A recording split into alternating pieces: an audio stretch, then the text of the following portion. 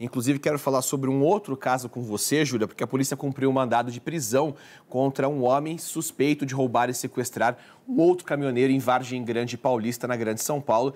Esse homem teve o caminhão levado pela quadrilha em mais uma ação aí mirando a carga, né? Isso mesmo, um caminhão avaliado em 300 mil reais. E o suspeito desse crime se chama Bruno Nunes de Souza. Ele tem 20 anos, ele foi preso durante o cumprimento de uma prisão preventiva, resultado das investigações da polícia, que identificaram esse suspeito através de, da descrição da vítima e de imagens.